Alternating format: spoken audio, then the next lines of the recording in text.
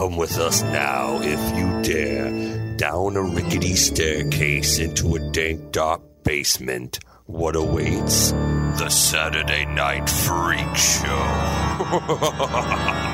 Hey, thanks for listening to the Saturday Night Freak Show podcast. We're a movie review and talk show podcast that comes your way every Saturday, whether you're ready for it or not, in our quest for total world domination, which you can help us out with by going over to wherever you found us and hitting that like or subscribe button, because all of that helps us rise through the algorithms that govern us all to become the fastest growing internet podcast We're too governed. in the galaxy. Too governed.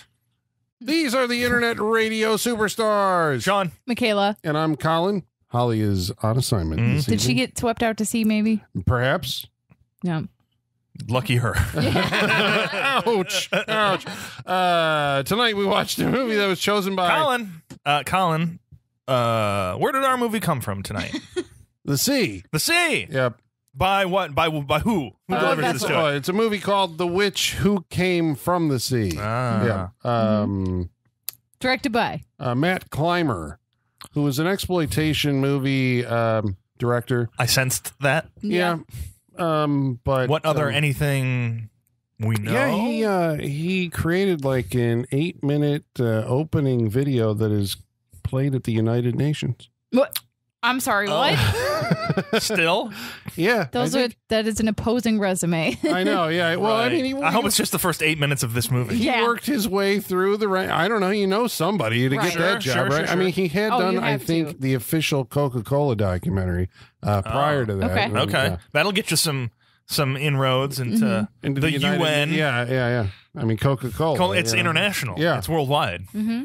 Makes sense. Um, and it's from the year 1976. Okay, seventy six. We were um, wondering about that. 76. Okay. Yeah, because there's a lot of like uh, behind the scenes folks who kind of uh, are congealing at this point in time Oh, Ew. and crossing barrier into other things that Make we it sound like society when you say congealing. Mm, congealed people. Yeah. Well, I mean, I guess before we get into the movie proper, so like one of the credits that stood out to me, like when we were first, when I first saw this movie, is like, oh, Dean Cundey. Uh, yes. He's credited as like the associate director of photography. Uh-huh. But the story is the actual director of photography like got fired and Dean Cundey took over. So Dean Cundey shot, you know, like Gotcha. most of the movie.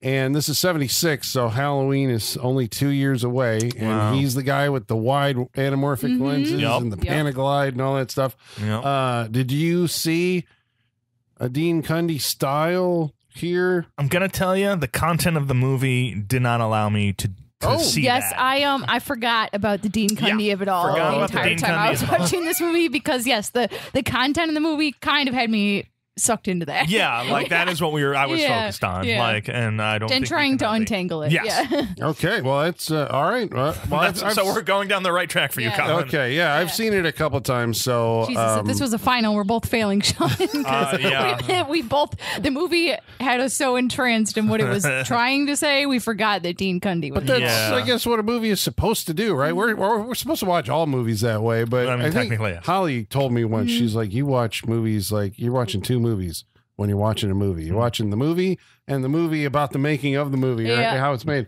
And sometimes if they're good, right, they If they're good, uh, you they- forget they, that. suck you right in. Yeah. Um, this movie was a video nasty. Oh, that on makes the sense. list That in the sense. UK. It was banned for many, many years. A lot of people I don't think have ever heard of it. Have you guys ever heard of it? no, No. never. I have not Nope. at all. Um, it has a very uh, listener. If you're out there, I recommend that you look up the poster art for this movie. I'm not saying that it sells this movie. It's just really good artwork. It's good, yeah. It's really good artwork. like, if you're gonna have a movie called this, this is the artwork for I it. would hang this poster up in my house for sure. As, but a, as a warning to all men, Yeah, I, I would say. it's a painted poster of this like witch demon Mm-hmm. thing coming out of the sea with a cape like flowing behind her. Got a scythe. And a severed head in one hand. Now, if you've seen this on video, they always crop it so it's uh, like this, oh, really? Really? so you don't actually see the severed head. Uh, That's too bad. But thanks Yeah. to the good folks at Arrow Video, we've got uh, the full uh, poster on the on the reverse uh, cover. she has what, like a scythe in her hand? yeah, Yeah. Very nice, very nice. And a snake up her arm. Yeah, and it's very like blue, green, like nasty old sea like Yeah. vibe. Yeah. She looks like a witch. She's got Mhm. white in her hair. and I everything. think that might be a takeoff on a classic painting. probably. Oh, yeah. It feels. Yeah. I'm sure it is. Only they've kind of you know put Millie Perkins' face Right. in there. Millie Perkins, the star of this movie, Mhm. Yeah. Do you know she? Frank? Yeah, yeah, yeah. Okay. which I read on the back of this. I'm like, what? But it makes sense. 'cause I'm Yeah. like, oh yeah. yeah, Yeah. 'cause, Uh, she was a child actress, and uh, that was you know like a prestige movie, you know, Mhm. and landed her in a big way, I think, in Hollywood. And then Mhm. the way that I heard that this movie came about was um, her, she was married to the writer uh, Robert Okay. Thom, right? And he had, and I don't recall what it was, but a, a severe uh, medical condition, and was in the hospital. And the doctor bills were piling up, and so Ah. from his hospital bed, uh, he wrote this movie. And they basically conceived it as something that she could do. He could sell it. He knew uh, Matt Clymer, and it was like we can make a movie and the profits of the movie will basically go toward you know paying off his medical expenses. This movie exists because of medical debt. Yeah, There you go. That says everything you need to know about America, right? We're gonna make a sleazy exploitation movie to pay off our medical debt. Of course. Uh, is it Clymer Wow. or Cimber? Sim- oh sorry, I was Cimber, gonna say, Cimber, uh, Matt thought I read Cimber. Matt Cimber on the back of Yep. Sorry about that. Yeah. Sorry, Matt, if you're out there. Actually, I think he yeah. passed on. yeah, if you're still with us, I, uh, Mhm. yeah. Um, also in the credit, so I'm uh, um, Millie Perkins is the lead, and I think uh, you know the, the the way that I hear it, the folks who were making the movie were like, you know, it's great, you know, she's better than the the subject matter, you know, like She legitimized their movie. yeah, it's like she's like a real Gotcha. actress, you know, Yeah. in your we're gonna make her do some crazy shit. yeah, but apparently she was all for it. And then later on in her life, she, uh, you know, wouldn't tell anybody that she had been in it.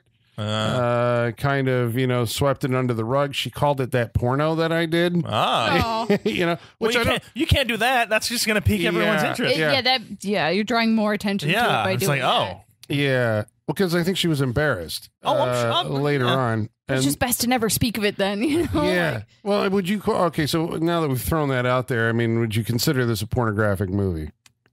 Not I think in, it's like a fetish movie. More not in the a- usual sense. I would. That sounds like a better way to like put how it. the baby was like Okay. not technically porn, but it was doing something for somebody. You Yeah. know? Yeah. Okay. So she's mischaracterized it. Maybe. I well, I think she definitely has. I would not call this. I would not.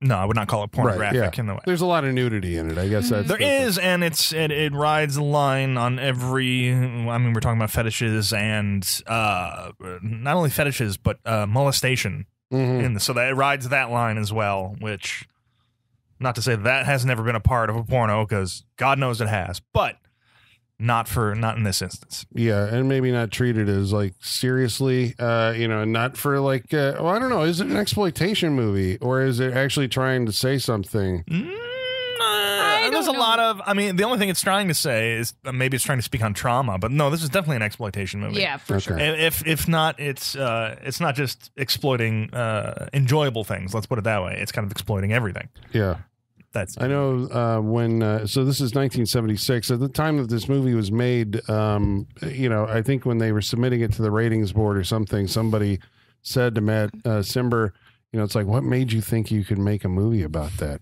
you know, it was just like beyond the pale that you would even uh, do Mm. something. And I guess um, Millie Perkins' sister was really offended because when they were writing the movie, her and her husband um, used moments from their own past. And Millie Perkins' dad had been a sea captain.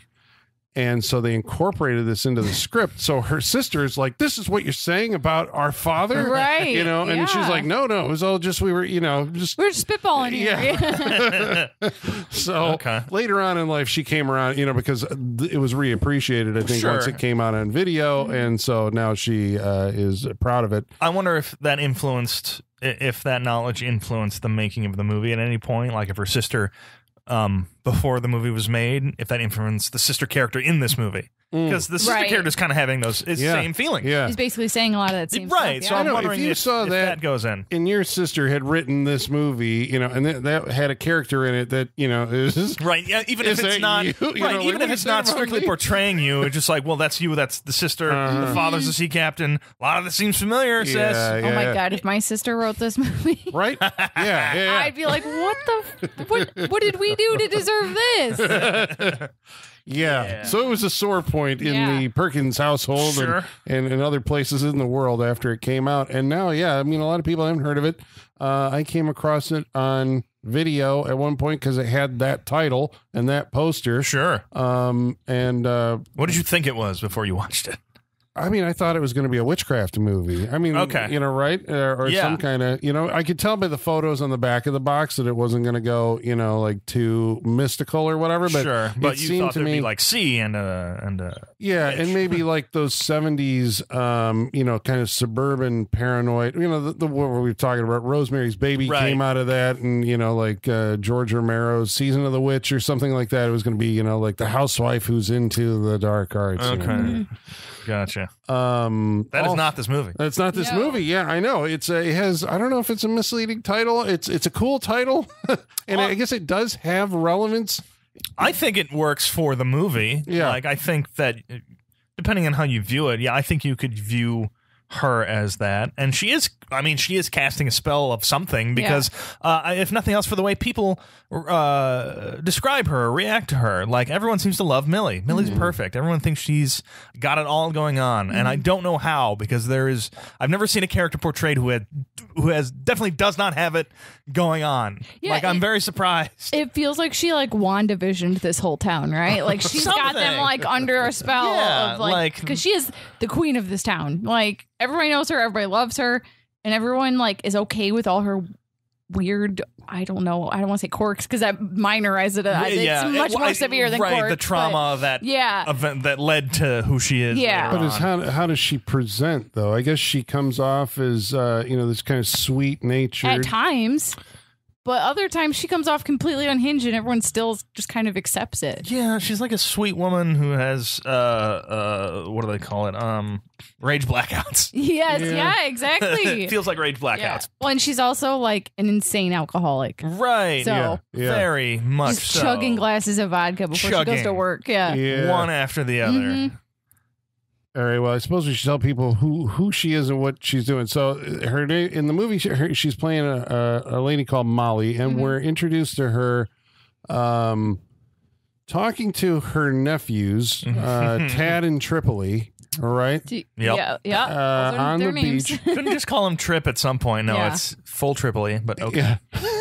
Does that does that have anything to do? No, I was gonna say, is that anything to do with history and witches and It those seems names? like yes, but uh, I unfortunately don't know this to make and that haven't- connection. Yeah. I wouldn't either. I, I would tangentially. It feels It's like, is there's this a- taken from like a poem about yeah? If that's what it feels Sure. like, right? It's- yeah. Right. Um, but she's telling them a story like off the bat about how her father was um lost at sea. Yes. Right? He was a sea captain, and you know he was he went to sea 15 years ago, and he never came back. And it's like okay, you know he was a hero, He's a great man. His crew was afraid of him because he had a gun, but he was fair. You know, and all this other stuff. It's like, okay. And then she stares. She's on Venice Beach, I think, right? Yeah. Sure, yeah. Yeah. I mean, I don't know. I didn't see the Venice Beach rocks Yeah. that we've discussed so prominently. yeah. Is that just a thing like uh, where there's beach and workout equipment? There's dudes, muscle bound dudes like Oh, yeah, Muscle working out. But like, like Mr. Universe level, like m- muscle ripped. Yeah, Like like- insanely ripped and roided out. Yeah. Right. Big dudes, big, big Tiny presses. banana hammocks everywhere. Yeah, you know what? You're wrong. There were burritos in those banana hammocks. No, but the As we banana hammocks shown. Hammock themselves was are small. tiny. Yeah. Yeah. the Like, okay, was yes, small. the hammock was small. Yeah. Large men in tiny hammocks. Yeah. Yeah, because they, I mean, just close up shots Of cro- Yeah. crotch shots. of everything, as many as you could want. and Yeah. then and then slowly they uh, they die. Big, well, okay. Did this happen? No, Oh, okay, but this is this. I like this because it sets up. I'm like, okay, she's looking across and sees these guys. The the close ups of their crotches is her looking at them, right? And like these men have stuffed to an ungodly degree their tiny banana hammocks. It looks like a straight up, yeah, like Chipotle burrito. it does like a one guy's. ceramic Yeah, yeah. foil wrap Yeah. burrito was shoved in there. It's like I'm gonna eat that later. yeah. Yeah. and she so she's fantasizing, right? And we're like, okay, Yeah. this is some kind of sexual fantasy that Yes. she's having, Mhm. and then it suddenly It devolves or evolves into turns bloody. Yeah, Yes. like one guy doing flips falls on his breaks his neck. I'm guessing. Yep. Yeah. There's, there's a guy who's on like the Olympic rings and he hangs himself on the rings. Right. That was pretty. That was my favorite one. And That he's hung cool. up. Yep. Yep. Yeah. and we're like, what the hell? Because and then all of a sudden we snap out of this. The Yeah. editing in this movie frequently plays with like a distorted perception. Yes, Mhm. very much so. so that but i like this at least for the first you know half of the movie Right. because you really like don't really get your bearings is this did that actually happen i mean as of now having watched the whole thing i assume that there was that that, that something happened like later on You think later, maybe? maybe Uh, I don't know. I'm going to say this one's just an imagination. Just Yeah, an I think She runs off on the beach, she and they're fine yeah. when she leaves. And the um uh the carnage, as it were, seems like it happened like right then Yeah. yeah during the day and everything. It doesn't feel like this one didn't feel like it was real. Yeah. She works at a bar called the boathouse Yep. Yep. where there's a colorful uh, proprietor named long john Yes, Mhm. there's a colorful array of characters in this. Mhm. Like who? boathouse. Uh, we have Long John. We have Doris, I believe is her name, who's got the pills and, and informs us that uh, what Daphne should have. Daphne has diarrhea. Daphne has diarrhea. well, at first there's a lot of theorizing that she missed work because she has menopause. There's a lot of menopause talk, yeah and it's Right. like we hear a lot about Daphne for never seeing her, we never see daphne No. but we hear we know all about her medical history and her ailments. she keeps calling in sick or something like that. Yeah. Yeah. Millie, uh, Molly works there. She's a waitress. Uh, Doris is a waitress. Mhm. Um, We Mhm. also meet the um, the sister, hmm yes. uh, Molly's sister, who is a seamstress. Oh, Billy, On the- Billy Bats at the bar in as a, well. in a in a legal seamstress like they're it's like they're gonna shut her down for i think it's i think the whole story is that it's a business but she's trying to uh, sell it off as if it's not a business so she doesn't have to like put it on the books like Yeah. she's doing it on the side she's living on welfare, Right. but Yeah. also but if she makes money Yeah. which she explains she's like "I- they don't pay me enough for me to not be on welfare yeah. See, I a I thought this was going a whole different direction. I thought she was getting like the clothes she was like repairing from like these people that Molly was killing, and then they were like reselling them or whatever. Right. Like they had some sort of like underground thing. No, Oh. it would, no. it would almost No, also it would be weird if like she killed people and then to get rid of the clothes she killed people in she the sister yeah, sewed them yeah, into yeah, other yeah. people's clothes Something to give like away That. Yeah. That would Or I thought something. maybe at one point because well, okay, well we'll get there. There's, there's a there's a, a ring that becomes a piece of evidence, Mhm. but um, so how do we get into this? There's um Molly. There's talk about um football players, right right? How They're she watching to a football game. They're watching, Okay. yes. And Yep. she, yes. She idolizes these football players, two in particular. She knows somehow where they stay. You know, this is dialog that Mhm. you know. It's like she's got the hookup in town or something. Right. um and something she has a conversation with uh her sister and i think this is where it like starts to like we're like okay This is where story we chip away at the uh, who's telling the truth. yeah at this the story point. about uh, dad, dad. the sailor Yes. yeah because the sister's like he was an awful bastard you know right. and molly's very protective of dad he was a great you know father and he blah, never blah, blah. touched you and all that stuff. did they even say that was that implied right there Uh, Molly said it. He never touched you once. Oh, okay, but we're supposed to. Uh, it, it- I I think I took it as she meant like phys- like hit her or Yeah. something like that. Mhm. Yeah, yeah, that's what Yeah, Molly said because I think the sister is claiming that that he beat her and he was a bastard and he drank too much and all that. And Molly says, "No, he didn't touch you once." Like she's telling the good side of it, and she's maybe the sister's telling the. Re- we don't know is kind of the point in Yeah. this part. Mhm. does it have a flashback at that point? We start to get these flashbacks about like the um Molly is a younger childhood. child. Yes, and it goes like I mean this is one of those movies that you know I guess you, you probably should put a warning label if you're gonna watch this. I mean it's yeah. It's sleazy. This is Yeah. a sleazy movie. I feel like I need a shower. like now remember that for the end of the episode. uh, it's uh yeah I mean it it can be I get it it, it can be a tough watch It- for probably a lot well, of if they did it once, that that's one thing. But they keep going back to this, and I'm like, I got it the first time. Yeah. I don't need to keep seeing it. Yeah, not that. Yeah, I mean we.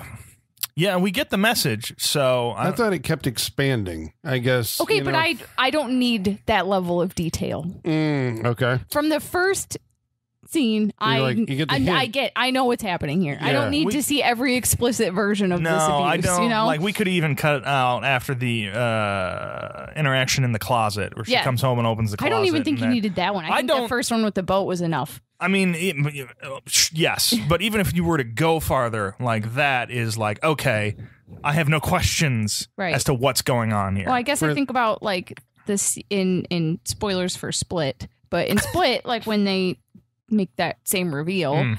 um, it, they do it once. Yeah. Don't keep going back to it. You got it from the one time in Split. Yeah. You know, And I guess for the folks, you know, if you haven't seen this movie, Mm-hmm. the, the, the the the several scenes that we see, one of them is, you know, she's talking about dad was a shipbuilder, and we see dad building. He builds model ships, right? Yes. This is supposedly the objective reality of what actually happened in her childhood. okay, yeah, Um, there's another time when, um, yeah, she comes home and she finds him like naked, curled up, I assume drunk in the corner of a closet as she's Yes. going in there yeah. to put something in. and he's Um, like laughing when she he's opens giddy. the door. Yeah, it's, Yeah. ugh. Because it was one of those, yeah. And then Yeah. uh, yeah. uh, there's a later one where I think it's almost like he is the, the storm, right? Because she keeps on making all. I get. I think that's what what- what's happening here. It's like she's taken all this stuff and repressed it, right? And Definitely. has turned it into this big sea analogy. You know, we we used to go to sea all the time. Which becomes the Right, yeah. euphemism for you know he raped her Mhm. all the Yep. time Mhm. um and like the way they play with the sound effects in some of those Yeah. scenes because when he bashes the television you know uh it sounds like a waves are crashing and all this other stuff um and then uh eventually we find out and i mean i guess we'll we'll explain it now it's saved for the end of the movie that uh while he was raping her he had a heart attack and died like on her What about Yes. what's the most traumatic day in the world? Right. Jesus. yeah But yeah. And so this support uh, uh, you know we find I was come to learn- traumatized by the food in the mouth. Oh That yeah, was- that was yeah, the big. So much open mouth chewing and food yeah, falling out of the mouth. Oh, in the God. clown. Oh, the clown. Yeah, there's a I would have forgot the clown. clown TV show that she watches. Is Yeah. that real or is that part It's of her supposed to be like? Bozo the clown or something like It that, looks but like her dad. it is her dad. Is it? Okay. Yeah, Yeah. it's her dad. And Yeah. uh, we should say, okay, so the, the actor playing her dad is uh, Robert uh, Jeff, I think is how you pronounce his name. And uh, you will have seen him as uh, he was in The Fog. He was on the yeah. on the boat. He was Mm-hmm. Nancy, uh, not, um, I was going to say Nancy Loomis, not Nancy Lewis. Uh, Janet Leigh's Jan- husband yeah. or uh, w- uh, husband in that movie, um, and I guess he was the guy in They Live who spots Roddy Piper like looking at him with. I Gotcha. think he's the Okay. first. Yeah. Uh, so he had done some John Carpenter stuff. Uh, the uh, girl who plays young Molly is um, George Buck Flowers' daughter. oh, Jesus. great, great movie to bring your. Wow. Yeah. Maybe wonder- don't take your kids I to wonder work sometimes. at what point, Yeah. not even during filming, but later in life, she realized what movie she was Right. in. Yeah, yeah, I'm yeah. always curious. we never looked up to see if Vernica or whatever her Oh, name yeah, was. yeah, She's yeah. only credited with a first name. George Buck Flower, right, is Yeah. also in this movie. He's in this movie. He's a cop, Yeah. Not a With a- drunk or a homeless man for right? once. so I it's had a hard time identifying Yeah, him in this movie. I'm just like, until he said, until I could hear the uh, the cadence in, in his voice. I was like, Yeah. oh, that's that's George. Right. Yeah. But up until that point, I was just like, oh shit, there he is. Yeah, because he he cleans up he cleans up pretty good. Yeah, and he's young. I mean, he's younger in this. 1970, what six? You said. Mm-hmm. Yeah, So he's definitely younger. before he got into his career of playing bums Yep. uh, or whatever, but um, uh, before John Carpenter. But there's also the Dean Cundey connection here that we're Yeah, Um, that's gonna be my retirement plan. Let's see if I can gross myself up and just play bums in movies. There you Like go. just a f- yeah, right. yeah, famous and bum. then we can do like a bum Avengers type movie where all the like character actors that play bums can That'd be all right. join up and form Yeah. like yeah. if But they can do it that's- with I mean, vampires. we if can do it you with bums. corner, you know, you're like the guy that they think of when they're like, "We need a bum for this movie." It's Yeah. gonna be it's gonna be Sean. yeah, Right. I'll take that. Yeah. I'll I'll live my life in Mm-hmm. my fancy cars and big houses and just be a Yeah. bum in movies. Yeah. Um. George Buckflower was also the casting director on this movie. He was, yeah. I mean, it feels like a, it's this is an independent, you know, movie where it's like Yep. you know, movie Oh, people yeah. got together and kind of did this thing on the Did sly anybody or release something. this? Like who? Aquarius. ah, uh, yep, definitely independent. back then. Um. Oh, and also the other uh, tie-in. Then George Buckflower's in this. He's one of the cops. The other cop is uh, Robert Kennedy. And uh, the same year that this came out, both George Buckflower and Robert Kennedy were in Ilsa, She-Wolf of the SS, one of the most notorious sleazy Yeah. Yes. Exploitation Marathon. movies Yes, it is. ever. Yeah, he was the general, the other cop. I blocked it all out. He asks her to, to pee on him. Oh You remember that? no! Okay, blocked it All out. gone. All gone. I remember Bringing one it scene, back. one scene specifically, and that's it. Just a lot of uh, nudity and blood and, and Nazis in ways that I Yeah. didn't like. We I'm not did- saying there are ways in which I like all those three together, but I'm just saying that all three of them Someone put that together out. was not good. Uh, uh, we did an episode on that movie way long, many years ago that you Yes. can go back through the archive and find. Okay, so um, anyway, she's uh, obsessed. Is there a place for sexy Nazis? That's all I'm asking. No, I'm sorry. I'm, I'm sure kidding. that's a tab on Pornhub, right? Oh. yeah. yeah, Probably. Yeah. You know what? You're probably right. They have to have like Uh, scrubbed. Yeah, well, I think they know. did- yeah. I feel Well, I like mean, you know what? porn websites are kind of like anything goes for Yeah. the most part. So. I, th- well, I think some have some standards. Well, now they got uh, whatever, like, because it was a Mastercard and Visa. This is off. Okay, Whoa! I don't They- even know where we're going. Yeah, they pulled their uh, like you can't. You know, Oh, yeah. okay. Unless you pull this stuff off, or yeah. Anyway, um, it was in the news. I vaguely remember Okay. what you. Yes, Yeah. what you were saying. Yes. Anyway, this scene with uh, her sister, right, where she's uh, remembering this. Uh, or I don't know if, if she's even remembering it, but the movie cuts to. Well, she goes and I think has. she's experiencing it, not remembering it. okay. We think- we're getting it, and so maybe we're getting like the the the impact of the emotion. I of it think or so. Something. Um, even if she's blocking it out, Right. and she goes and gets a drink. I, I clocked that, and she had like three shots because she's got to go to work, right? yeah. Mhm. and while she's taking a drink, the movie cuts to a hotel room, Mhm. and Yes. where she is seducing these two football players. But it's been like slowed down just a little bit, and there's some sort of effect on it where their voice kind of like echoes and reverberates like they're underwater. Yeah. Yeah. It's an It's odd, odd twist. It's interesting. hmm How did you interpret that style? I guess when because I know when I first saw it, I'm like, this is a dream. This is a fantasy scene. I thought it was like some sort of spell or magical capability or something. Oh. Especially since we're working at witches in Yeah, the title. okay. So That's very true. yeah, I don't know. I thought it. It felt. I mean, it did felt dreamlike. Um, and I didn't think it was going to go on for so long. So I was like, "What is?" The longer it went on, I'm like, "Okay, this Is they're really going through a lot. happening. Th- th- Yeah. This is definitely really happening." Yeah. Even with this, it still seems heightened, obviously, because of the the voices and the slowed down Yeah. and everything. Yeah, well, what happens? She ties them. they to get the high. bed. It could also be because they all got high, yeah, yeah. and so just yeah. like it just from like That's how when- you show people are drugged out. Yeah. yeah, it's like old school when you get shot in the, the, the neck with a dart. It's like you're you're, you're crazy, man. yeah, yeah. I like you, but you're crazy. Yeah. It's that. It does have that. Yeah. Yeah. She ties them up on the bed. Everybody's Ties them- stoned. right? One, yeah, one hand, one hand, and then they get tied together, hand Yep. in hand. And then And she saws she it does off. all their feet except one and the one guy's. Yeah, And then Quentin Tarantino's favorite scene in this movie comes up because this guy's like feeling up her boobs with his foot. Yeah. does it matter What if it's a male one foot free hand?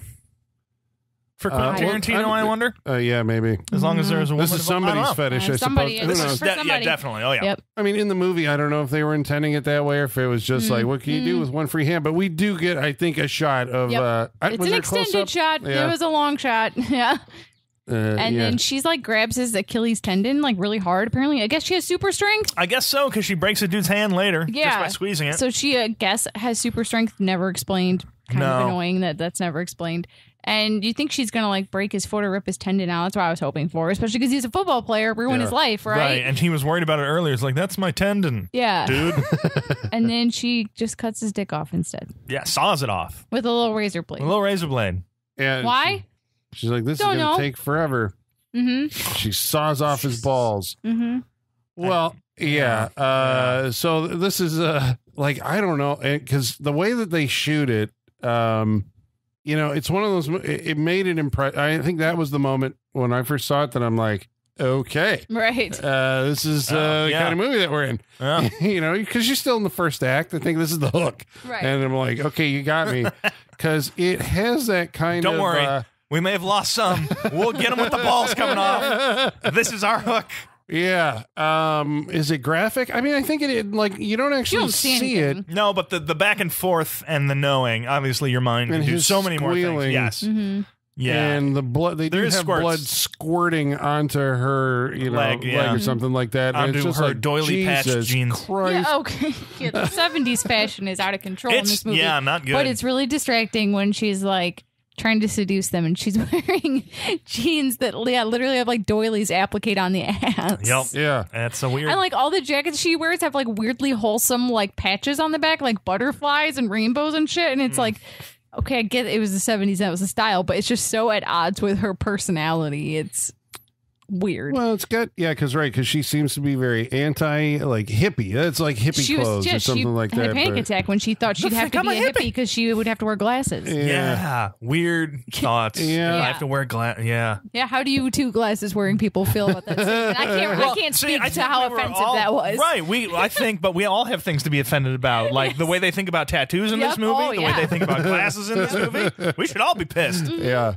It's uh it's something. It's a well, I mean, yeah, yeah, a relic of its of its day. Yes. When they would go all the way on everything uh without holding back.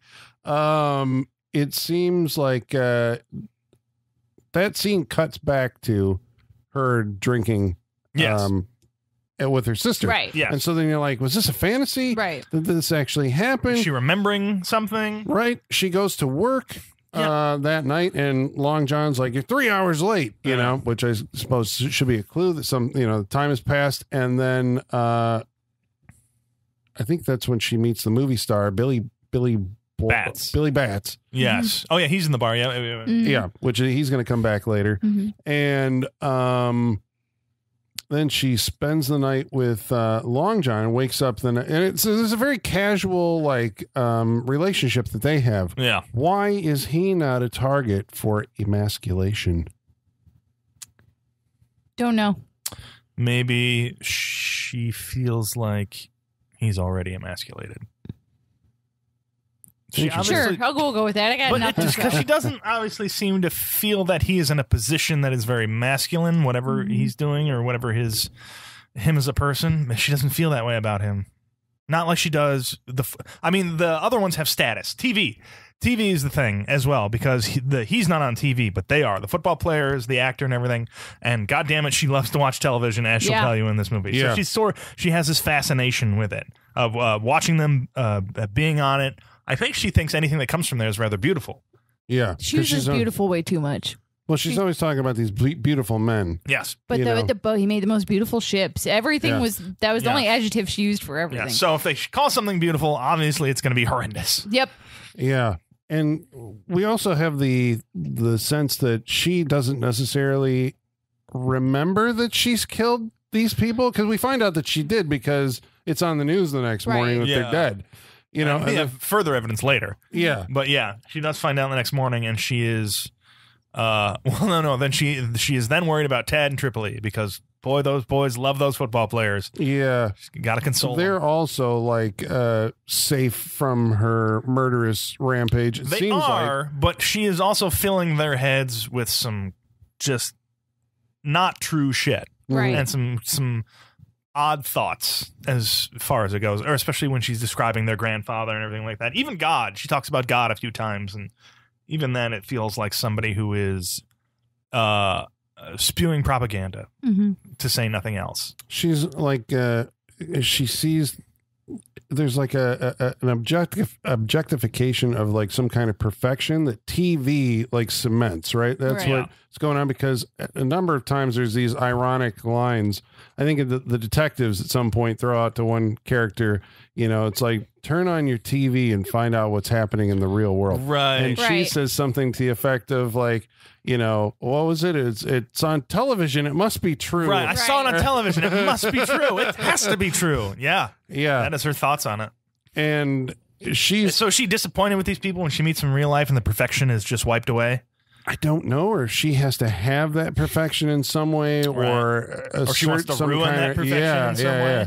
Because it does seem like, I mean, obviously she wants to cut these guys' balls off. She Right, wants to, yeah. You know, Right. make them less threatening, less men. You Yeah. know, or something. Yeah, obviously, and that relates back to obviously the trauma she experienced. Yeah, as but a we, young like I said, the movie is doling this out, so you kind of, you know, get like a larger view of this. Yes. But uh, as it goes, um, she eventually is uh, invited to this party, I guess, at this. Uh, um, to Billy Bat's party. Yeah, Yeah, well- in, in the in the hills. I suppose before that, we should say she becomes fascinated with uh, a guy in a like a Gillette commercial Mhm. or Oh, something. yeah. Another yeah, another actor on TV. Yes, McPeak. McPeak. Um, Yes, and great name. she has this uh you know these flights of fantasy where uh, you know it's a guy in a shower and like "Ew, something about a close shave and you know the Mhm. girl comes up next to him she has like a moral problem with this like they don't even know Their each na- other Yeah. Do you think he even knows her name? Yeah. I mean, do you think he asked before they did this? Like they're naked on television. but then he She reminds starts, me of what's her name from Pie. She's like, I'm gonna be on tele or from Requiem for a Dream. oh right Oh, yeah, yeah, yeah, yeah, yeah. television. yeah Yeah.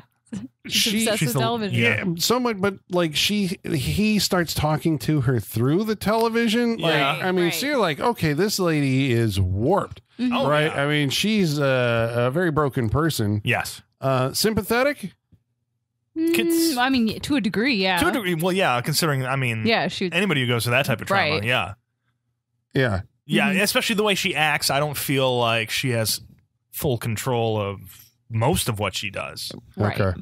Yeah. I mean, I guess that's how I take it too. It's like, you know, she's, I mean, a very mentally disturbed, Yeah, Person, like you want her. I want her to get help. dangerous, Yes. very dangerous Yes. uh, to be at large in society. Um, so she goes to this party, and the uh, Billy Bl- Billy Bats Mhm. does try to seduce her because he's kind of this like slimy. Oh, this is like a '70s party where they have the pool indoors. and Oh yeah, this, yeah. I mean, it pool looked in the house. but fun. Yeah. Everybody's naked in the pool, but everybody outside of the pool is just kind of chilling. right, you just kind of hanging. yep. It was like Hugh Hefner's place or something. Yeah, do what you want. Um, we had questions as to if you had one of these pools in the seventies. Was there, there a lot of indoor mold in these places because of the moisture? Yeah. That lis- feels- Listener, if you know this for personal experience, please tell us about. Yeah, but that feels like a, that would be a scene from um, uh, Boogie Nights, where the next morning after Yeah. one event at their house that they're in, Right. somebody's just cleaning the fucking molds back again, and Right. like one character would have a problem with it. It feels like Mm-hmm. it's like, oh goddamn! Well, I'm pretty sure one of them said like, oh, there's cum in the pool again. God damn Right. it! Like stuff like that, and you know that's a problem there as well. People are straight up diving into this pool and it's it's splashing all Yeah. over inside. Yeah. And it and there's wood paneling in the same room with his pool. Yeah. Terrible idea. Yeah. So you know there's mold. Yeah. The seventies when things just weren't right on so many levels. We just didn't give a fuck about anything apparently. Yeah. I don't think I don't think we knew. I don't think we knew at all.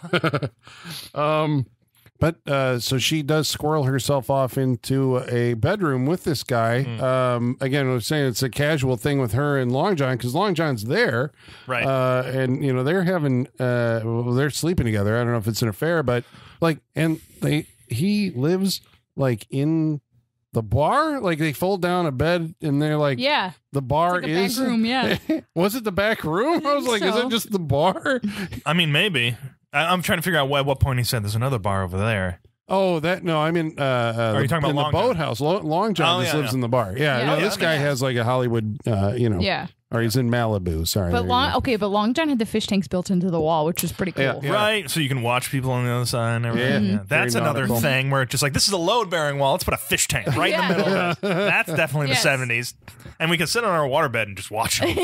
That's what it needed. Yeah. Needed a It water. needed bed. a- How, water how bed.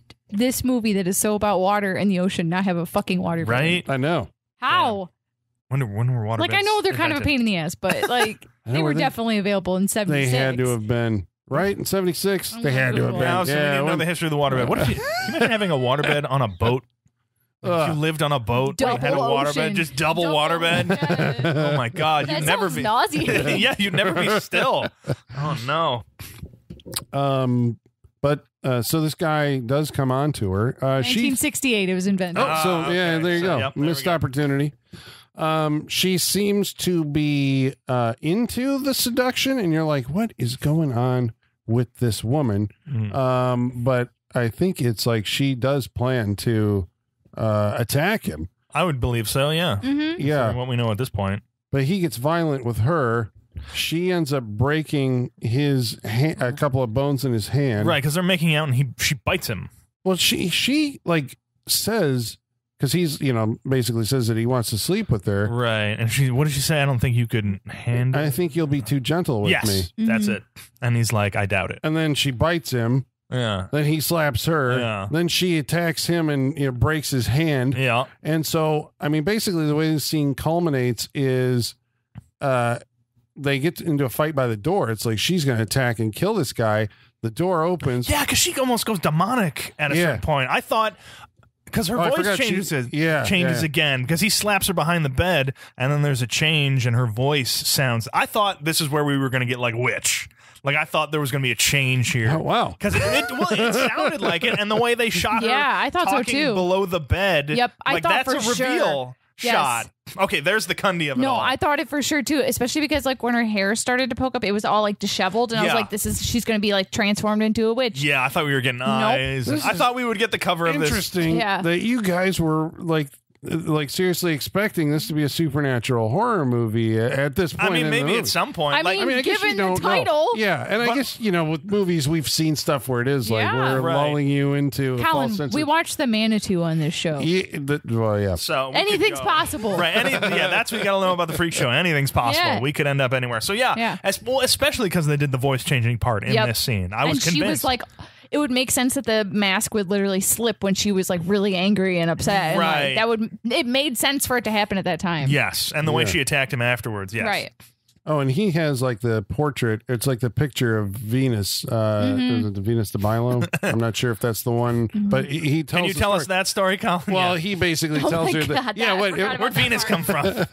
do you remember his little spiel on? Who's Venus's father supposed to be? Uh, was who's- it Poseidon? Uh, not Zeus. Uh, No, not Zeus, not Poseidon. There's a god who uh, gets his balls cut off and thrown into the ocean, and that's how Venus is conceived. Yeah, Yep. But he tells it in far better. He tells it in like two sentences and so cavalierly. And It's great. then, yeah. yeah. It's wonderful. and that that is the witch who came from the sea. I Yeah. guess that's where the movie gets its title because you're supposed to see Molly as like an analog to Right. Venus, I suppose. Right. Um, but the way the scene ends, she ends up falling out into the where all the revelers are, yes. and so it looks to them like he attacked her, yes. and so wisely, I don't know, he like kind of looks up and scans the room, reads the temperature, and locks himself in the bedroom. He's like, "Oh shit, there's no way I'm going to be able to explain this." Uh, yeah, and it's also probably like it's not the first time this has happened. Close. Yeah, yeah. And she is rescued by McPeak, who Oh, happens yeah. to be there because I guess these actors hang out. Right. And you Aren't you on TV? first thing she says, Yeah. Aren't you in a commercial or something like that? "You're a commercial." Yes. Yeah. It, yeah.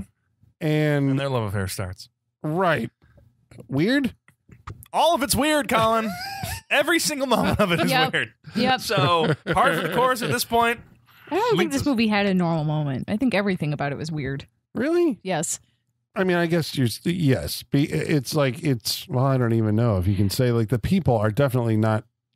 Well, I don't know. She's not normal. Are the people And around she's her? in every scene, so And the people around her are also Yeah. not. No, there is not a, a non weird scene in this movie. I Yeah. will agree with that. Because even the- she's in most of them and she makes them weird. Or the people, the characters themselves are also weird because they're not. It doesn't feel like they're in. uh like They're it's like they're under worlds. that spell. It's like they're under a spell. They're in from their own world. yeah. Oh, because don't- they believe that she. You're saying because she believe they they seem to see her as this pure and innocent Yes. girl. Or I think uh, the the sister asks Long John at one point. You know, you think she's perfect, does, don't you? Mhm. Yeah. And he's like, Yeah, I do. What's wrong with that? You know. Yeah. And the whole time the sister's like, uh, she killed people. Yeah. Exactly. Well, the sister seems to be going through a little bit of denial there for a while because, uh, you know, I don't know if she knows because she's, I think at that point, she's like, I'm not saying she killed anyone. Or I'm not saying she did it, but I'm saying she might have done it. Yeah. Yeah. Uh, because the cops end up going to uh, the sister. Yeah. this is where they're doing a shakedown. Yeah. Because they found the patterns Yes. and they've tracked the fabric Mhm. back to her. And I don't know. I thought that the the lady who was playing the sister did like a pretty good job. You know, like uh, having a nervous breakdown. Yeah. Yes. Yeah, yeah, she I did. believe so because she was uh, yeah, all over the place. You can't, I can't, you can't talk to all my clients. You run them off. I can't leave the children outside. They're playing in the streets. Like she's, yeah, she's shaking all. She needs Mhm. a drink. Yeah. Which eventually she goes for her. Maybe Yes. that was the second thing, but it's like she, you can kind of see it dawning on her. There was that one scene, I think, you know, where, oh no, you're like, what do you know about football? Nothing, or like something. Yeah. What was it? It was like, oh no, oh no, oh no. You know, Yeah, like, yeah. it was Oh, yeah, better yeah. performed than that, but it was like you could see it dawning on her Yeah. that like, oh shit, Molly might might have Yeah. done this because they have uh, her clothes. Um, she sleeps with McPeak She does. uh, and scares off his uh, girlfriend. Right. The blonde Yes. later. Shows up shooting at his car the next day. Yeah, Sure. Why Dude, not? She was not appreciative of it because uh, Molly was very forward in front of her Yep. to McPeak. She's like, she asked her, "Do you love him?" And she just laughed. She's like, "Well, what do you? Gee, what do you mean?" And then she's like, "Because I do. Once again, not I a want normal him." scene. No, Not a it's normal not. scene. But it's Yeah. it's very directed at him, and he's okay with it. And then she's caught literally in between them. And the next time we see her, but I guess you know you say it's not a normal scene, and I agree. Yeah. but you're looking at like are the people giving like a normal person's reaction to that which is basically like embarrassed awkward you know it just it's an awkward social moment because there's It's this, also just like we hard cut to her shooting at a car, and we're like, wait, you have to take a second to be like, wait, who is this lady again, and mm. where are we? You have to like oh this. This movie is constantly react. You're constantly reacclimating to where you're at and who you're with because it, the the editing and the cuts are really weird in spots. some mm. of them it feels like it's doing intentionally f- mm-hmm. like you know sean was saying where it would show you like a scene of sex abuse and then cut to naked people jumping into a pool Yeah. Right. you know um that kind of thing other scenes seem you know they kind of have that television quality of like here's the dun dun dun oh, like and- look and on using- somebody's face yes, and using literally the same music for Right. most of those TV shows. and other ones that just kind of cut abruptly into things and then we already know that it's played games with time you know by Yeah, cutting a future event into a past event you know yeah. to kind of distort you to i guess put you out of sorts you know where, where molly is or It, whatever it worked because I was wondering about a timeline, especially when the football players were killed versus when they were found versus when they were mentioned.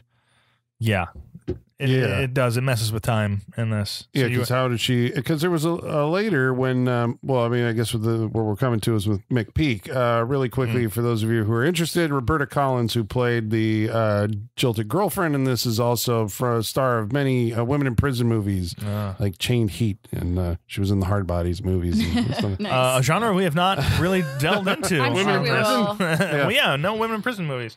um, was she in Big, Big Big Bird Cage or Big Doll House? Uh, anyway, uh, so uh, McPeak uh, ends up getting a visit from Molly.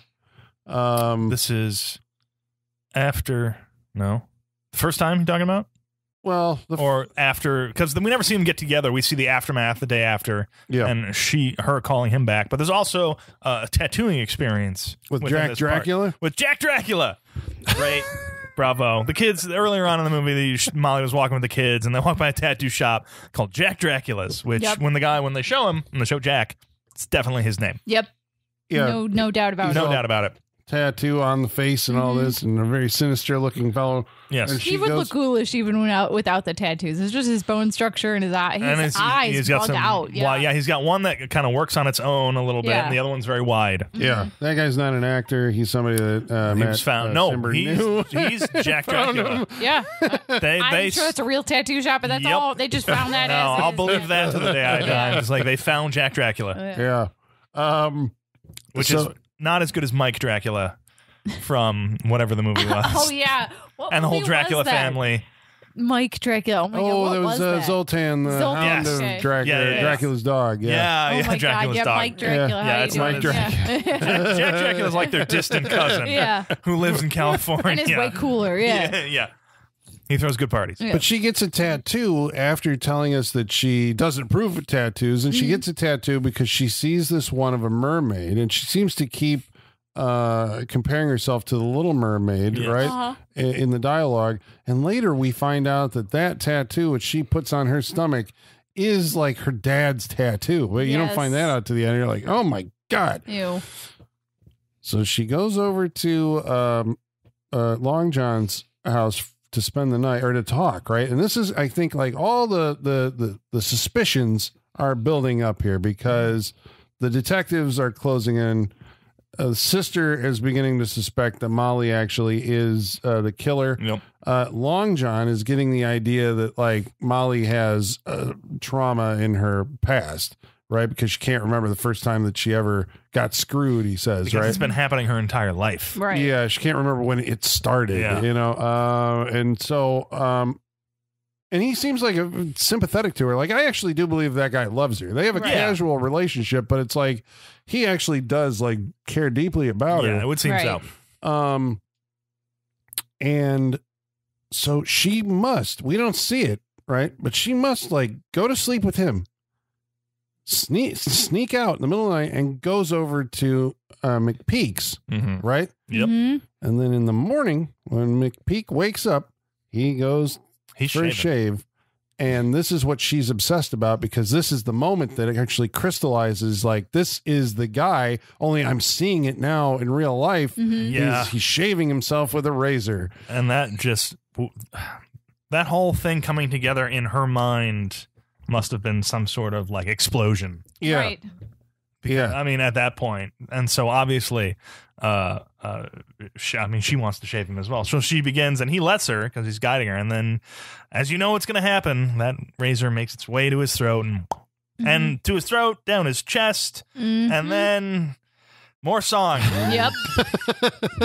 in in a shot in a way with a because the mirror in the bathroom is pretty big and I think on the edges goes floor length and we're getting a, a good profile shot of this going on and it's not it's not cool man it's uh yeah yeah. I mean, I guess this is the thing that made the British censors go, I- you know, like, Right. okay. yeah This Right. is too much. And I mean, again, like we said, we're not getting close up shots of No, no, anything no, no, actually no. happening. a lot of this is uh it's, uh, almost all implied. yeah but Yeah. but it's doing a good job of implying it But Let's put it that man, way. I, yeah, because I don't know. It's either this or uh, I spit on your grave as far as Mm. castration scenes go for Mm, me. I like, Teeth.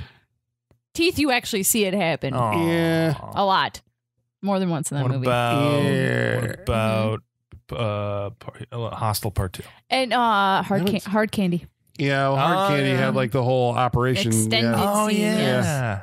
Yeah. forgot about that Stay know. tuned. We'll, we'll get there eventually, Yeah. right? I don't know if I'm going to bring I spit on your grave, but uh, Mm, no, I'm good. I'm good. good. yeah we'll be fine I've seen it. I'm good on it. yeah That's a horror movie. Mm-hmm. Well, this is a horror movie too. Anyway, so um, we get to because that's what I was like. Is this a psychological drama or horror movie? I'm like, yes Yeah. um, and we get to a scene then where it seems like, uh, oh yeah, well she wakes up at Long John's place, Oh yeah, in bed, bloody. and he's like, "What in the holy hell have you done?" And she says that she tried to cut off the tattoo. Yeah, and it's her blood. And then we kind of get the idea that, like, you know, she actually, and she eventually does admit to killing those people, yeah. um, McPeak and the other ones, and others throughout the years, right? Because he's Mhm. like, "How many have been on your crew, Molly?" Because that's how she sees it. They were, Right. they were on Right. her. Yeah, she was the captain of that ship. Yeah, And she keeps having these weird flashbacks to like her strung up on like a mast and like bodies cut in half on a boat. Yeah. What's that? It Yeah, seems like a that's very, it. very past event because it seems like she's I think that's Younger the, and that's the longer hair. fantasy event, right? That's That's what she's like the story she's telling in her head to herself. because she is on.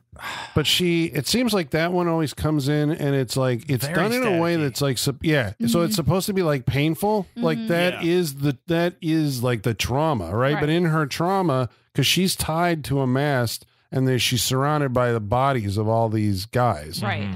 So it's like, is that implies that she doesn't remember killing them? She's just always surrounded by, you know, this blood and death and all this other stuff Mhm. because they always do seem to cut that into the movie at like Right. moments when she's under explicit psychological stress. Mhm. Okay. Well, then it's a happy ending for her at the end. I think that's how you're supposed to read it. I would. I would think so. Um, they take it upon themselves. Well, um, I'm trying to remember if we're forgetting a scene or two here, but it doesn't seem like it. Like once she wakes up at um, you know at Long John's place, and she's got the blood on her. It seems mean- like the confession comes there, right? Yeah, Right. because they're there. The kids do come back. Which is weird. Very Mhm. weird. Okay, so this whole so right, so they're like i- i- the the kids he- overhear a conversation. I think between Long John and the sister, Yeah. right, because they're at the sister's house, their mom's house, and she's like, she killed those guys. Like it's they they know it's her. The cops, Right. if they find her, don't send her back here because I'll hit her over the head with a bottle. Just tell her to run. Yeah. You know. Uh, and I think Long John has also come around to this. Uh, like she's, you know, uh, capable of it at least. And so Doris comes over with Daphne's pills Yep, gotta have the pills. And they start, I think they decide, like, They all decide. yeah, It's like a a, a shared uh, like a thing going on, like a shared fever dream of some sort, or it's uh, I don't know. It's like um, just between the three of them, they all decide that uh, this is the moment. They all got to be in some state of shock. is she, um, is she aware of it? Because she's like, I have to take more pills, don't I? And he's like, Yeah, you do. Eh, But does she know what the end result Did she know that she's going to die if she does it? I have no idea. I can't, I don't Yeah. know. I know? don't. I I don't. It's not. I I I don't think it's death at that point. I don't think that matters. I think it's quiet. Mm. Like that silence. It is. It is not being. I mean, it's the end of the movie. It's it's being on that raft, but not being. Well, no, I'm just saying, like, in, d- is she aware that she is telling them to kill her? I don't. Well, that's what I'm saying. I don't think so. I don't. Yeah, I don't. The, think so her either. goal is. I don't think her goal is to die. I think her goal is to. Um, like I said, she's looking for the quiet. I think at this point, or the Yeah. peace, or something. I mean, uh, like I said, because where she ends up. So no, not necessarily. I mean, she's got to know it at some level. Like Yeah, deep okay. down, even not uh, unconsciously, she probably knows it. But Okay, because that's where you say when they were all get together and kind of have this. I, I Long John and Doris. this kinda- shared agreement and Yeah, understanding they of what have is that happening. like looking at the pills, going like, well, you know, you know the cops are coming, and you Yeah. know, and so they decide to you know give her the pills. Molly agrees to take the pills, and then the doorbell rings, and we're like, oh shit, the cops are here! Yeah. Take the pills, take the pills, and then it's her nephews, Ted and Mhm. Tripoli. yeah, So they come in, pardon me, they come in and they don't understand what's going on. no, because right? they're there because they know they were they, they think their uh, their aunt is fine. Like she didn't kill those people. Mhm. She- there- There's nothing wrong with her. But they, I mean, they go downstairs and they also come into the whole shared thing because they start giving her the pills and feeding her the vodka as well. Like the, Well, she they're says she helping her. needs the She- yeah. pills, and and they're like, you know, can you get me, them for me or right. whatever? And I think they, I don't know if they know she takes pills. but they don't in know the they're first place. killing her. No, no, they I mean, don't. it's just it's we- like It's this is a weird. horror movie. You Yes. know, like this is a one of like, oh Jesus, now you're getting these kids. Because I Right. think at some point, uh, you know, Long John's like, or uh, was it Long John or, or Doris was like, the kids can't stay here. I think Doris said it. Yeah, he's like the kids can't, or maybe Long John did. Oh, the kids can't. yeah, they can't stay here, Molly. You know, because he knows what what's going on. Because I think like maybe you could get away with saying, well, she took a bunch of pills on her own, right? Yeah. Because I mean, eventually you got to answer for this, especially now if you're going to have the kids saying, "Oh no, we sat around and we gave her the pills." Yeah, no, we sat here and gave her the pills in the vodka officer. It's uh, that was us. Yeah. Um, and at some point, Doris, I think, has that moment of like, we can't do this, you know? Right. Yeah, she she does have a thing where she's like, oh, and she goes down to Molly and and is holding on to her. And I mean, this is the part where she this goes away, right? Like, does she die at this point? End up back on her raft, free? Yeah. I think Mhm. before we see that, we do see like there's another knock on the door. And when Long John goes down there, it's the cops. Right. You know, uh, they're standing outside with their badges, and it's like, okay, this is the moment. Yeah. But Molly has escaped Yeah. She has escaped. to death. She's, she's on her raft, free, sailing away in the distance. yeah. So she never gets to answer for the things that she's done. She escaped. They euthanized her. I guess is that a good thing or a bad thing? You know, like- I think it's just a thing. it's good for her. That's the way that we're, you know, to see it, right? It's like she does sail away into the Right. onto the the raft. Um Whew. and that's the end of the movie. Yeah, I mean it's uh it's uh something.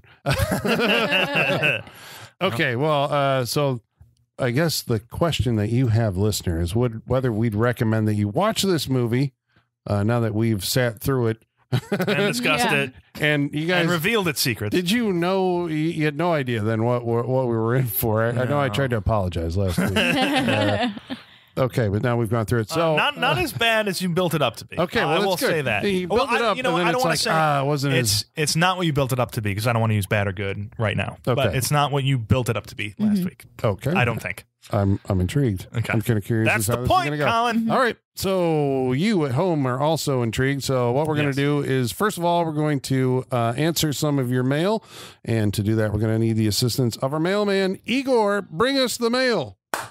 Masters, masters, the mail. I've got the mail. So many letters. Our followers are rising, rising. Why? Thank you, Igor. He came from the sea. He, he had to have, right? Or at least parts of him I did, mean, right? Definitely. Seagulls brought have parts of gills? him from Yeah. the sea and to us here, and that's how we got them. But You think hum- he has gills? I was going to say, are the human Ooh. parts? Ah, It's hard to he's a tell at this point, He's yeah. a mix. Yeah. Yeah. Yeah. Who knows? Ooh. I wonder There's gills somewhere, right? Yeah. somewhere. He might have him on his like feet or Yeah, something, yeah. he's probably got them. Well, we want to remind the good folks at home how you can participate on this interactive portion of our show by following along on Facebook Facebook.com slash Saturday Night Freak Show. or Twitter. At Sat Freak Show. You can email us directly, Saturday Night Freak Show at yahoo.com.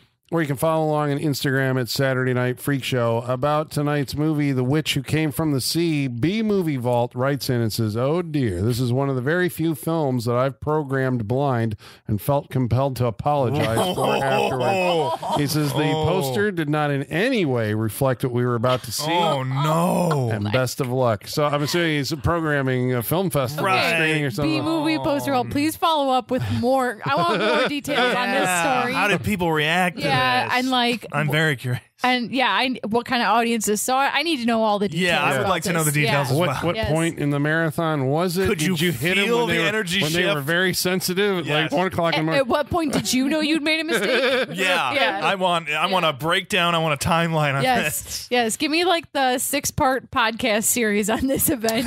yeah. I want Yeah. the true crime version Yes, of yeah. what happened here. Yes. Who was vict- I want victim interviews. I want everything. And uh, C Huds is writing in, Hey, Ah, what Chuds. up, Chuds? and he says I could not finish this one. Yeah. Where did you stop? Uh, That's yeah, a- yeah, yep. let us know where you Again, stopped. I want to yeah. know. What, What was the point? last thing you saw? Yeah, where did you uh, bust out? Where what was Yeah. what did it for you? But those are the only two comments we got about this movie, meaning either that Makes it's sense. so far under the radar or Well, uh, now that we've covered it, next week it'll be. there you It'll be on go. Bloody It'll be on Bloody Disgusting. Yep, there someone's gonna be like, oh, we're thinking about remaking this. They're going to do Allison con- convention circuits. The people in the movie will be on the Somebody from this convention will die Yep, or yep. something. Yeah, I don't know. This We're is gonna getting to it yeah. first. Uh, uh, last week we watched a movie called Hellbound, starring Chuck Norris. Mm-hmm. Uh, uh, Ryan Handsome Jansen writes in and says, "Fucking hell, this movie brings back memories. I was palpitating with anticipation for this when I saw it in the new releases at the local video store. Oh, I loved Chuck Norris as a dumb action-loving 13-year-old kid, and the fact the bad guy rips hearts out was even better. Then I watched it and woke up to myself, and the era of Chuck was over, and I needed to move on." Oh, I'm sorry oh. this burst that bubble for you. Oh, That's you're a sad moment when you realize that as a kid. This is what see the power Chuck has. Don't Right. do it. Scraw 793 says Chuck Norris is the reason why Waldo is hiding. Okay. All right, all right, I like that one. Travis Legler says Chuck Norris does not sleep. He lies awake in regret. Aw. I don't believe he has regrets. I don't like that one. Chuck Norris has no regrets. Uh, Michael Whitaker says when Frank Shatter was born, that's his character. Yeah. When Frank Shatter was born, the doctor asked him to name his parents. I read that one earlier. I Yeah. like that one. He Good. says, "Hey, it also works with character names too." You Yeah, can it do does. Frank yeah. Shatter. Frank Shatter slapped his parents. Yeah. Uh, Bill Hayner says, "I don't know if he ever faced the devil, but it wouldn't surprise me if he did. But I submit for freak show approval our pet rooster, Cluck Norris." Oh my God, I love it. And Yes. uh, probably a redhead as well. Send pictures. I want to see. Oh, we have we, we have Oh, the we do? picture. Sorry, I Oh, don't nice. have them right here, but Oh, yep. Um, Colin's and keeping all the adorable sorry. pet pictures Can he? from us. Yeah. Can he I round feel- ass kick? I'm very curious. Oh yeah. Can he? we need an update. Yeah. Can he? Uh, we, a lot of Yeah. viewer email updates. Yeah. Bring them in, folks. But uh, Bill also says that he just realized that he met the devil himself. He re- he met uh, actor Christopher Neiman. It was Ah. a photo he sent us. Uh, Oh, that's Oh, so very nice. cool. How creepy do you look? yeah. Let's find out. We'll look at the picture Yeah. There you go. Well, the week before we watched a movie called. Well, that's not right. Wait, Yeah. Well, we did uh, Butcher Baker Nightmare Maker. Correct. Yeah. Okay. Yeah, remember we were out of Yeah, order. yeah, right, right. Yeah. Uh, Travis Legler says, okay, so we had a, uh, if you listen to that episode, there was a lot of talk about milk and Yep. the 'Cause Because the consumption. movie, there's a lot of milk in the movie, though. It's not like it was just us tangenting about milk. It was a lot of the milk milk drinking. A movie. lot, there yeah. was a lot of milk in that movie. Yeah. And we asked the folks at home, like, do you guys just drink like glasses full of milk? Is that like a normal thing? Uh, Travis Legler says, We did. I used to drink milk all the time before I was a diabetic. I love milk. Then again, I'm also from Wisconsin. it's that? illegal to not like it up there. I mean, that's true. I used to drink a lot Well, of yeah, milk. no, I used to. That's what I'm saying. I used to too as a kid in the '90s in the got milk era. But now as an adult, yeah, I don't choose to ever. No, drink I've never. milk. I have. mm, Uh, I mean, it's almond milk, but I have cereal and shit. Yes, Still on cereal, milk. that's if it. I have a if I have a cookie, I will have a small glass of Right. milk. I think. Yeah. But I'm not Actually- just having it as a beverage on its No, own. not at Yeah. all. I mean, sometimes I will chug it out of the carton. No, you're Just one of for those. no people.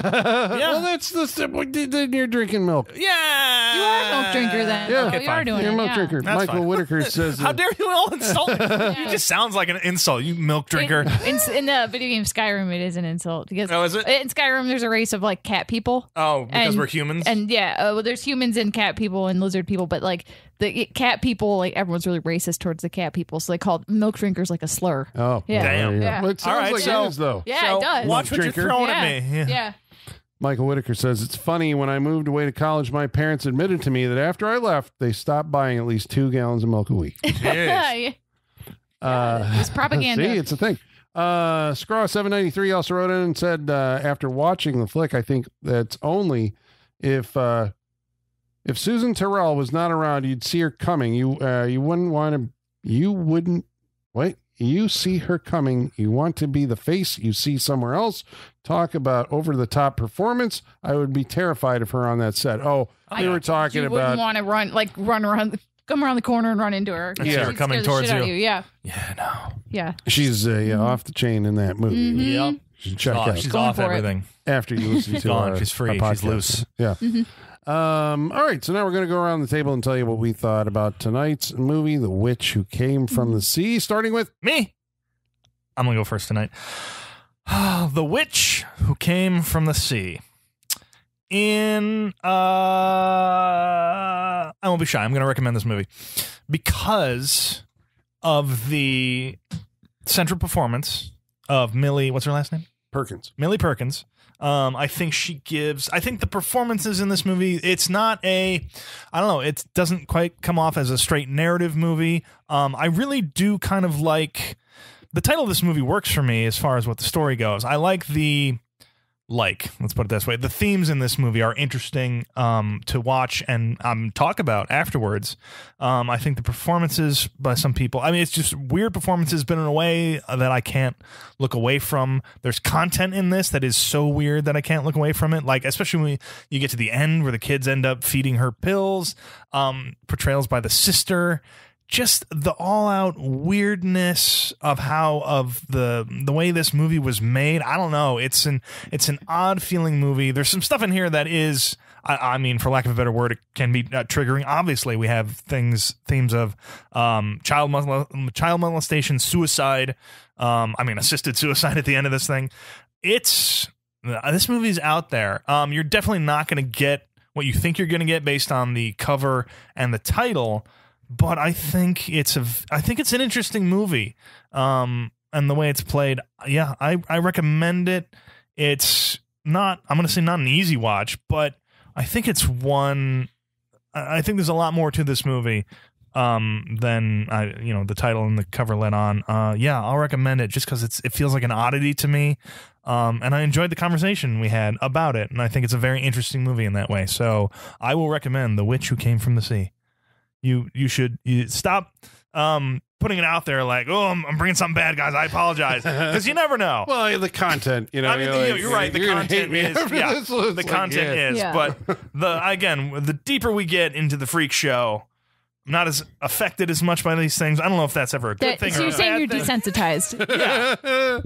I love that about this show. Yeah. So I mean, there we are. Uh, Michaela, what did you think? I, I think so. We've done a lot of like sleazy movies in the past on the show, right? We have like a spectrum of sleaze, right? So like if I'm looking at this spectrum, I'm thinking on the one end there's like brain brain damage was the Aylmer movie, right? Mhm. Like Yeah. so there's like the Henenlotter stuff like brain damage and Frankenhooker and um then in the middle I would say it's like Angel, right? Where it's like it's sleazy, but it's still got some heart and still has really good characters and really likable moments and it like it makes you feel things other than gross. Wait, can I guess what's on the very other end? The very other end Possession? is the, yeah, yeah. Well, I don't know if that's a sleazy movie. I don't think that would be sleazy. The okay. movie's You're right. Just I don't know. It's an other It's things. something. Yes. But and then like on the other end of the spectrum, I think you have like the baby, Okay. Where there's no humor to be found in that movie. Okay. Like Uh, in- uh, at least other- not intentionally. intentional, right, Yeah, yeah, yeah. And You're it's right. just pure darkness, and it's more than people should take in in one sitting. You know. Uh-huh. And I think that unfortunately this movie for me falls too close to the baby end of the sleaze spectrum.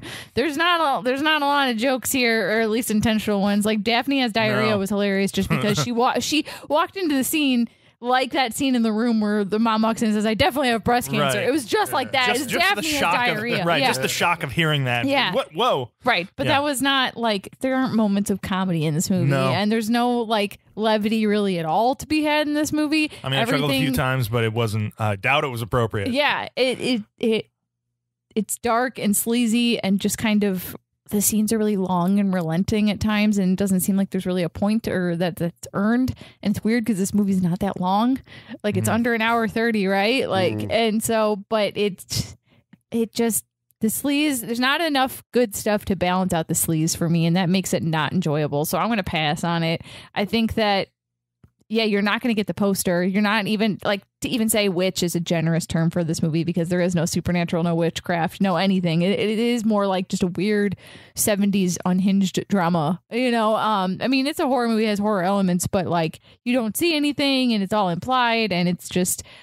there's not enough good to outweigh the grossness of this movie for me. So I'm going to pass on it. Colin. I have a question.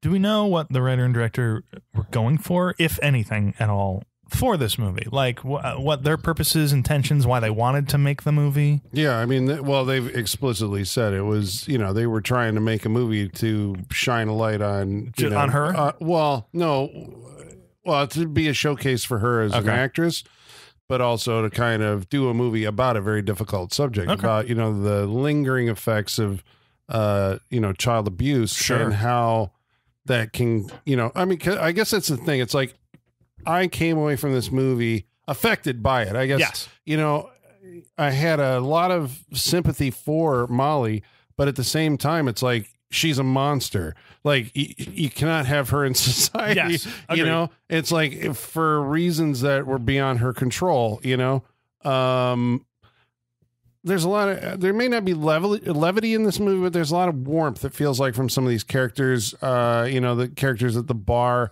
Um, you know, Doris uh, gets some comedy just from being. You know, she swears like a sailor. She's been around for. You know, she's a bartender who's been around forever. And just claiming that she knows all the secrets and everything, like that aspect about her. I don't I don't like people like that, but it's a good aspect for her character. Yeah, because it feels more, you know, genuine, I suppose, in some way, and not that you know. I mean, I guess I always say that I kind of I like these mo- the '70s movies for their honesty, not so much that like agreeing with any, uh, you know, uh, um, well, um, yeah, not so much agreeing with what they're saying, Yeah. but the fact that they are saying it. yeah, honestly. because this is more, I think, like what human uh, beings are like. you Yeah. know, off off cameras, Sure. you know, whatever. And it's like the '70s. It just seemed like showed you people, you know, warts and all. It's like it just raw. Yeah, Yeah. but there you go. And so I guess uh, the whole movie kind of gives that vibe off. It's just like I am seeing something. I guess it's you know forbidden.